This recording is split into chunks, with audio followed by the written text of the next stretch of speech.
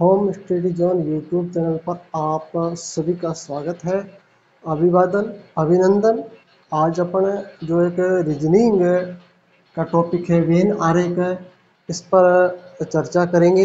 यानी क्या है वेन आरेख और इस टॉपिक में से किस प्रकार के क्वेश्चन एग्ज़ाम के अंदर आपको देखने को मिलते हैं और इनको कैसे हल किया जाता है, अपन इनको सीखेंगे।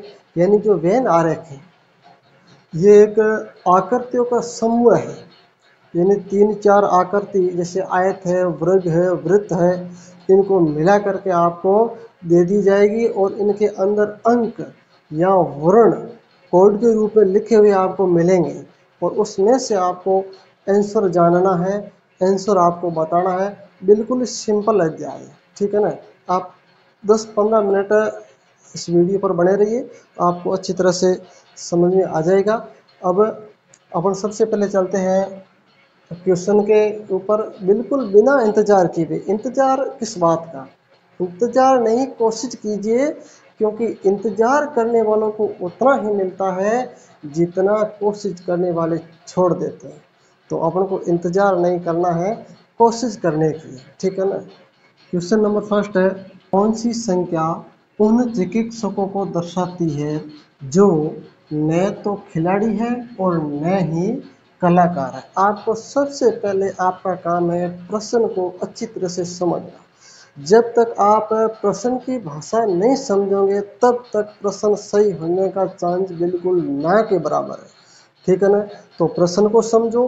प्रश्न को एक बार न पढ़ने के बजाय दो तीन बार पढ़ो। यानी कौन सी संख्या उन चिकित्सकों को दर्शाती है जो न तो खिलाड़ी है और न ही कलाकार। यानी चिकित्सकों को दर्शाना अपन को केवल। खिलाड़ी और खिलाड़ी और कलाकार का बिल्कुल नाम नहीं लेना है, वो है उसको रहने तो अपन को केवल चिकित्सक दर्शाना है, इस आकृति में से। यानी ऐसे कितने चिकित्सक है जो न तो खिलाड़ी है और न ही कलाकार है। अब देखो, चिकित्सक है, इसके अंदर आप कहोगे, सर, इसके अंदर तो चिकित्सक नाम भी नहीं है। तो जैसे डॉक्टर है तो डॉक्टर को चिकित्सक कहते हैं। डॉक्टर को चिकित्सक कहते हैं, यह है खिलाड़ी और यह है कलाकार। जो गोल घेरा, व्रत है, जो व्रत के अंदर जितने भी संख्या है, वो डॉक्टर है। जितने भी है, वो डॉक्टर है। खिलाड़ी है, जो ये त्रिभुज का नाम खिलाड़ी है, त्रिभुज के अंदर जो भी संख्या है, वो खिलाड़ी है। और कलाकार है, जो इस वर्ग के अंदर जो ये सभी है, जो कलाकार है। ठीक है ना? और मान लीजिए जैसे मैं उदाहरण के तौर पर छः को ले लूँ। तो छः है ना? आप कहोगे छः इस वर्ग के अंदर है तो कलाकार है। और इस व्रत के अंदर भी छः आ रहे हैं तो छः संख्या ऐसी है, ये छः नंबर ऐसी संख्या है जो कलाकार भी है। कलाकार भी है और डॉक्टर भी है। ये छः नंबर कलाकार कलाकार भी है और डॉक्टर भी है। जैसे ये तीन नंबर है यह यह तीन नंबर है जो ये केवल खिलाड़ी है, क्योंकि यह केवल त्रिभुज के अंदर आ रहा है, बाकी कोई आकृति के अंदर है नहीं आ रहा। और जैसे ये मैं संख्या ले लूँ, पाँच नंबर संख्या है ना? तो ये पाँच नंबर संख्या ऐसी है जो डॉक्टर भी है, ये खिलाड़ी भी है और कलाकार भी है। क्यों? क्योंकि यह पाँच देखो, इस व्रत के घेरे के अंदर भी पाँच है, इस वर्ग के घेरे के अंदर भी पाँच है और इस त्रिभुज की आकृति के अंदर भी पाँच है। तो इसका मतलब ये तीनों आकृति से घिरी हुई है। तीनों आकृतियों के अंदर संख्या केद है तो ये कलाकार भी है, ये डॉक्टर भी है और खिलाड़ी भी है। अपन को याद क्या करना प्रश्न के अंदर है कि उन चिकित्सकों को दर्शाना है। उस चिकित्सकों की संख्या याद करनी है जो न तो खिलाड़ी है और न ही कलाकार है। ऐसे चिकित्सक खोजो कि वो न तो खिलाड़ी है और नए कलाकार कैसे खोजोगे कि ऐसी संख्या आप याद करो कि वो न तो इस खिलाड़ी वाले घेरे के अंदर होने चाहिए और न होने चाहिए वर्ग यानी इस कलाकार वाले घेरे के अंदर होने चाहिए। तो देखिए, इस खिलाड़ी वाला घेरा यह त्रिभुज है, इनके अंदर जो भी संख्या है वो डॉक्टर नहीं होंगे। केवल डॉक्टर खोजना है। केवल क्या है? केवल डॉक्टर खोजना है। अब इस खिलाड़ी वाले घेरे के अंदर जो संख्या होगी, वो अपना आंसर नहीं होगा। और इस कलाकार वाले घेरे में जो संख्या है, वो भी अपना आंसर नहीं होगा। अब जो बचेगी, वो अपना आंसर होगा। तो देखिए, इस खिलाड़ी वाले के अंदर ये तीन आ गई। ये भी आंसर नहीं होगा। ये दो नंबर है, ये भी आंसर नहीं होगा, ये पाँच नंबर भी आंसर नहीं होगा, ये चार नंबर भी आंसर नहीं होगा, क्योंकि यह संख्या है, वो खिलाड़ी के वाले घेरे के अंदर है तो आंसर नहीं होगा, क्योंकि कि न तो खिलाड़ी है, खिलाड़ियों का मना किया बिल्कुल, ज़रूरत नहीं है। और कलाकार है, अब कलाकार वाले घेरे के अंदर जो संख्या है, वो अपना आंसर नहीं होगा, ये एक नंबर है, बिल्कुल आंसर नहीं होगा, ये तो केवल कलाकार है, ये छः नंबर भी नहीं होगा, बस अब जो बचेगी वो अपना आंसर है। अब बची संख्या कौन सी? ये आठ नंबर और ये सात नंबर। तो आंसर अपना क्या होगा? ये आठ नंबर और ये जो सात नंबर है, ये अपना आंसर होगा। इस ऑप्शन के अंदर जो सात और आठ है, वो अपना आंसर होगा। देखिए, ये ऑप्शन नंबर बी है, जो सात और आठ दे रखा है, ये अपना आंसर माना जाएगा। और इसका तरीका मैं आपको दूसरा और बताऊँ कि इस प्रकार का क्वेश्चन आए तो दूसरे तरीके से आप कैसे हल करोगे। तो देखिए, अब पूछा क्या है? केवल चिकित्सकों को पूछा है। किसको पूछा है? चिकित्सकों को। कलाकार नहीं होने चाहिए और खिलाड़ी भी नहीं होने चाहिए। तो जहाँ आप चिकित्सकों वाला घेरा है, चिकित्सक किसको बोला? डॉक्टर को बोला। डॉक्टर का नाम क्या? जो ये वर्त है, इसका नाम डॉक्टर है। इनके अंदर जितने भी है, वो सब डॉक्टर है। तो अब ये जो वर्ताकार घेरा है, इसको यहाँ घेरा बना दो। अब इस वर्त के अंदर जितनी संख्या है, उनको लिख दो। संख्या कौन सी है? आठ भी है, सात भी है चार भी है, पाँच भी है और छः भी है। बस ये इतनी संख्या इस व्रत के अंदर। अब पूछा क्या है? खिलाड़ी और कलाकार नहीं होने चाहिए। खिलाड़ी भी नहीं होने चाहिए और कलाकार भी नहीं होने चाहिए। अब देखिए, खिलाड़ी यह खिलाड़ी है। इस घेरे वाली संख्या इसमें कौन सी आई है? इस घेरे के अंदर जो संख्या उनको काट दो आप। अब इस घेरे में से संख्या यह पाँच है तो इस पाँच को काट दो, पाँच खिलाड़ी है। और ये चार भी है, ये भी खिलाड़ी है, नहीं होगी। अब देखो, बची संख्या कौन सी? छः जो छः कहाँ पर है? छः है इसके अंदर वर्ग के अंदर। तो छः नंबर भी कट गए क्योंकि छः है जो जो खिलाड़ी है। अब पीछे बची कौन सी? ये सात और ये आठ है तो ये आपका आंसर होगा। ठीक है आप किसी भी प्रकार से आप कर सकते हो। आप इस खिलाड़ी वाले, घेरे वाली संख्या को लेकर भी आप आंसर निकाल सकते हो। ऐसा कुछ नहीं है, ठीक है ना? चलते हैं अपन नेक्स्ट प्रश्न की ओर। क्वेश्चन है निम्न में से कौन सी संख्या जो उन डॉक्टरों को दर्शाती है जो खिलाड़ी और कलाकार दोनों हैं? यानी अपन को ऐसी संख्या याद करनी है, ऐसी संख्या जो डॉक्टर डॉक्टर है साथ साथ में खिलाड़ी भी है और कलाकार भी है। ठीक है ना?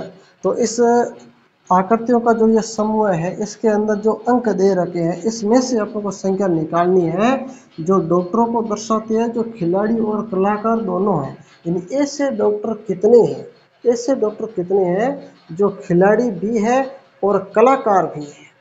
ठीक है ना? तो आप देखिए, जैसे ये त्रिभुज है जो खिलाड़ी को दर्शा रहा है यह डॉक्टर है जो इस व्रत को दर्शा रहा है, और जो कलाकार है जो इस जो आयत वर्ग जो भी कहो, इसके अंदर है। ठीक है ना? अब देखिए, अपने को ऐसे डॉक्टर देखने हैं, जो कलाकार भी है और खिलाड़ी भी है। ऐसी संख्या, जो तीनों आकृति के बीच में है, तीनों आकृति के भाग कवर कर रही है, ऐसी संख्या। तो सीधे तौर पर देखें तो जैसे, ये आठ है तो आठ तो केवल इस वर्त के अंदर है। ठीक है ना? आठ आंसर नहीं होगा। ये सात है, ये सात भी केवल वर्त के अंदर है, ये भी आंसर नहीं होगा। तो आठ भी नहीं होगा, सात भी नहीं होगा, ये तीन है तो ये केवल खिलाड़ी है, ये भी आंसर नहीं होगा। ये एक नंबर है ये केवल कलाकार है, ये भी आंसर नहीं होगा। अब ये छः नंबर है, देखो तो ये छः है ना, जो ये इस व्रत के अंदर भी आ रहा है और इस वर्ग के अंदर भी आ रहा है, मगर खिलाड़ी नहीं है तो ये छः नंबर भी आंसर नहीं होगा, क्योंकि यह केवल दो आकृतियों को कवर कर रहा है, ठीक है ना? ये दो नंबर है तो ये देखिए, ये इस आयत के अंदर आ रहे हैं, इस वर्ग के अंदर। इस वर्ग के अंदर तो ये दो है, इस त्रिभुज के अंदर भी दो है, मगर इस जो व्रत है ना, असली डॉक्टर इसके अंदर नहीं है। तो ये दो नंबर ऐसी संख्या है जो खिलाड़ी भी है, कलाकार भी है, मगर डॉक्टर नहीं है तो यह भी आंसर नहीं होगा। अब ये चार नंबर है तो चार नंबर देखिए, यह डॉक्टर का भाग तो कवर कर रहा है, इस खिलाड़ियों का भाग भी कवर कर रहा है, मगर जो ये कलाकार है ना इसके अंदर ये चार नहीं है तो चार भी आंसर नहीं होगा।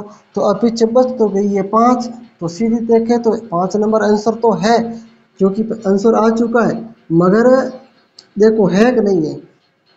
यह व्रत है, इसके अंदर ये पाँच आ गए, ठीक है डॉक्टर तो है। अब साथ साथ में आपको खिलाड़ी और कलाकार भी देखना कि खिलाड़ी और कलाकार है कि नहीं है। ये खिलाड़ी देखो, इस आकृति के अंदर भी पाँच है, ठीक है, ये खिलाड़ी भी है। और डॉक्टर, ये कलाकार, अब कलाकार की ये आकृति है तो इसके अंदर भी ये पाँच है। तो बस पूछा है कि ऐसे डॉक्टरों को दर्शाना है, जो खिलाड़ी भी होने चाहिए और कलाकार भी होने चाहिए तो वो संख्या है पाँच। तो पाँच, ये ऑप्शन नंबर सी है, जो आपका आंसर माना जाएगा। ठीक है ना? प्रश्न बहुत सिंपल है मगर आपको केवल प्रश्न को समझने का तरीका आना चाहिए। प्रश्न यदि समझ में नहीं आता है तो आप दो तीन बार प्रश्न को अच्छी तरह से पढ़िए। आपको अच्छी तरह से समझ में आएगा और ऐसे क्वेश्चन बिल्कुल आपके गलत होने भी नहीं चाहिए। जो गलत होने के चांस बिल्कुल ना बराबर है। क्वेश्चन बहुत सरल है। ठीक है? अपन चलते सीधे दूसरे क्वेश्चन की ओर। हाँ तो क्वेश्चन है कि दी गई आकृति में व्रत बताता है शक्तिशाली पुरुष को। ठीक है ना? तो सबसे पहले इनके नाम रख दीजिए, ये आकृति बनी हुई है।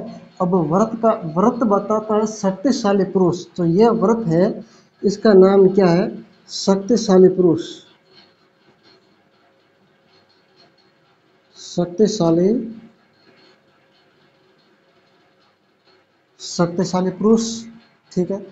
और वर्ग वर्ग बताता है ऊँचे पुरुष को। वर्ग की आकृति यह है तो इसका नाम है ऊँचे पुरुष। क्या नाम है? ऊँचे पुरुष। ठीक है ना? इसका अन्य नाम है ऊँचे पुरुष। और त्रिकोण त्रिकोण बताता है सैनिक अधिकारी। यह यह जो त्रिकोण, इन त्रिभुज की आकृति है, इसका नाम क्या है? सैनिक अधिकारी। इसका नाम है सैनिक अधिकारी। ये नाम महत्वपूर्ण है। इनको आप आकृति के अंदर लिख दीजिए ताकि क्वेश्चन गलत होने का चांस नहीं रहे। अब देखिए प्रश्न को अच्छी तरह समझो। यानी दी गई आकृति में व्रत बताता है शक्तिशाली पुरुष को और वर्ग बताता है ऊँचे पुरुष को। वर्ग है। वर्ग जो ऊँचे पुरुष है और व्रत है जो शक्तिशाली पुरुष, ये जो व्रत है, ये शक्तिशाली पुरुष है। और त्रिकोण बताता है कि सैनिक अधिकारी, जो ये त्रिकोण है, सैनिक अधिकारी, ठीक है ना? यहाँ तक अपना क्वेश्चन है जो कंप्लीट हो चुका है। अब आप नीचे पूछे क्या, वो देखिए यानी कौन सा क्षेत्र सैनिक अधिकारी बताता है? कौन सा क्षेत्र सैनिक अधिकारी बताता है जो ऊँचे पुरुष हो, पर शक्तिशाली नहीं? शक्तिशाली नहीं तो ये है ना, इसके ऊपर क्रॉस लगा दीजिए। जो शक्तिशाली की आकत है उसके ऊपर क्रॉस लगा दीजिए। यह शक्तिशाली है। शक्तिशाली कौन है? यह व्रत। यह बिल्कुल गलत। अब शक्तिशाली के अंदर जितने भी अंक हैं, वो आंसर नहीं होगा।